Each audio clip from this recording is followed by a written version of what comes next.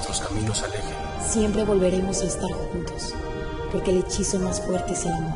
Mi adorable maldición, próximamente